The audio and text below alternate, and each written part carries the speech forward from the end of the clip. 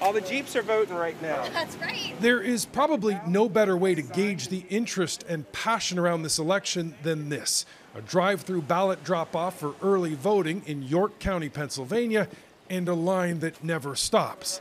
Thank you.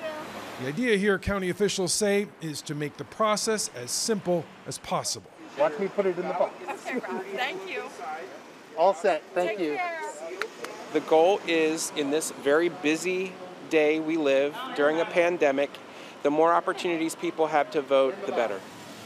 The state, for the first time, has no excuse early voting. You don't need a reason to cast a ballot before Election Day. In fact, they've sort of made it so easy here, there's almost no excuse not to vote. The Heilmans dropped their ballots off on foot, literally in seconds. The applications were sent out, and when they came, we, we requested them, and when they came, there was concern about the COVID, and we, and so it was. We felt, I felt at the time it was a safer option. Yeah, no, this was painless. Yeah. Now, it was a different situation in New York Saturday. This was its first day for early voting. There were long lines, sometimes meaning waits of more than two hours, something people were willing to put up with to have their vote counted.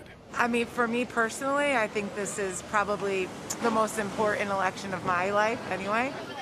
This is the first time New York has ever had early voting. Another example of how American officials have tried to make the process easier and safer, and it seems to be working. The U.S. matched its all time record for early voting days ago, and the numbers are still climbing.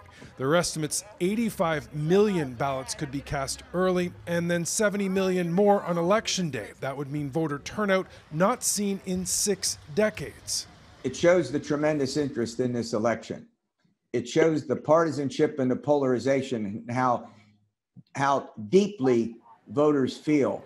Thank you. Thank you. Another thing all this early voting means is for a lot of people, the decision has been made and the ballots cast. The candidates can keep campaigning, but some people have already voted, and the polarization means a lot of the people who are left have already made up their minds. Ready to vote? Mike Armstrong, Global News, York, Pennsylvania.